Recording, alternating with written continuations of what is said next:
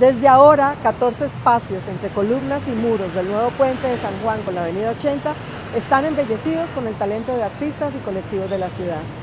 Vincular el arte urbano a la ejecución de las obras públicas ha sido uno de los motivos para que Medellín sea reconocida como un referente de innovación social. Que los dos intercambios de los siete que le darán paso al metro de la 80 se hayan intervenido artísticamente también nos ayudará a que con estos proyectos de ciudad tengan una gran apropiación en sus espacios públicos. Con la construcción del intercambio se generarán más de 8.500 metros cuadrados de espacio público para el encuentro ciudadano.